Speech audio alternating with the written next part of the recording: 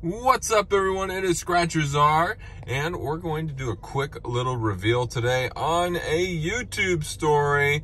And uh, yeah, so played a bunch of tickets this morning. I was dropping my friend Emma off at the airport and uh, bought $200 worth of tickets. And let me tell you, first $170 worth, horrible, straight garbage.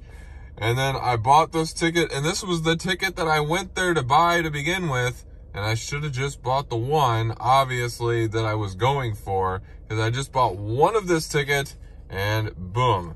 We got the $200 bill down here in the bonus area. That is the first time I've ever seen that. But this is the first time I've seen the 30X for a $500 winner on ticket number 20. So thank you guys for watching. Have a great rest of your day.